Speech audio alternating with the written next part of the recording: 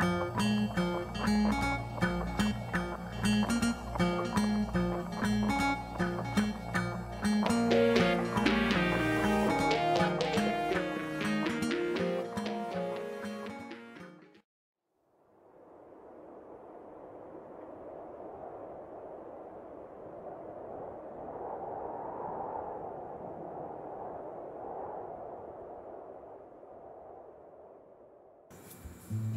Olha para a estrada. Você já viu algum contraste assim?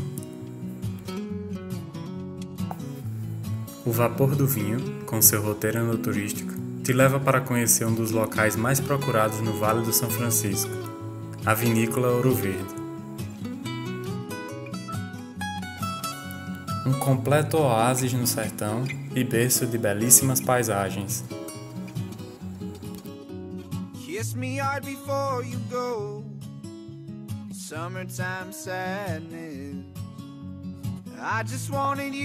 Logo na chegada à vinícola, os visitantes têm a chance de ter contato direto com os parreirais verde vivo. E é difícil não se impressionar com as uvas. Seus cachos grandes e maduros enchem os olhos e deixam todos curiosos e hipnotizados. Quase como se aquele cenário ali não fosse real. Com caixas espalhadas pelo chão, aquela atmosfera que antecipa a colheita deixa o visitante animado para explorar e até provar algumas uvas no meio do caminho.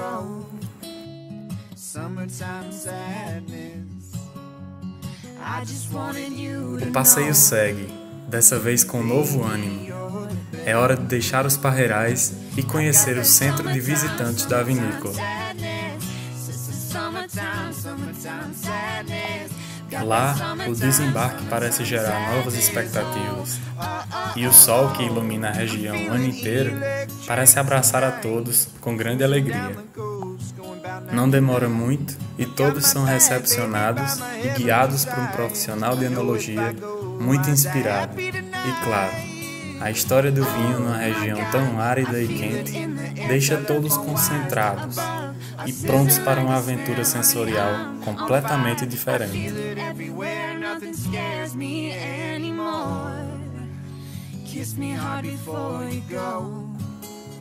Cercados pela impressionante arquitetura que lembra casas coloniais, os turistas seguem encantados, prestando atenção em tudo: cores, formas e detalhes que fazem dessa região um contraste único no mundo.